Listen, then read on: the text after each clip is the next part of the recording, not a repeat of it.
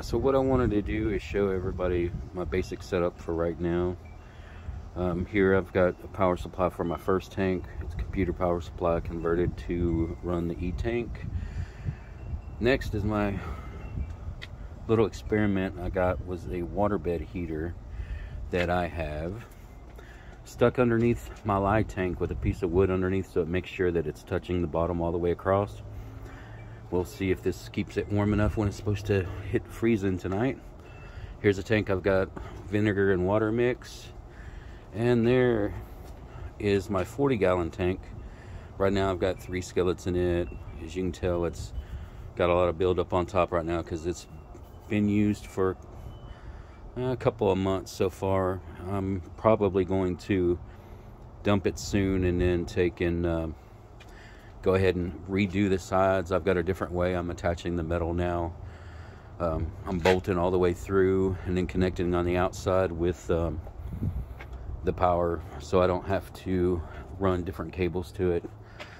And here's one of my 55 gallons. I've got four going in this one right now. Mostly the small pans go in this one. If you look on the side, you can see I've got a bolt going through connected to the metal on the inside. And then I run it on the outside to connect the two together because I have one power supply running both of these tanks. And this is the 1000 watt power supply converted for this one because I wanted more power for both of them. And this is my newest tank.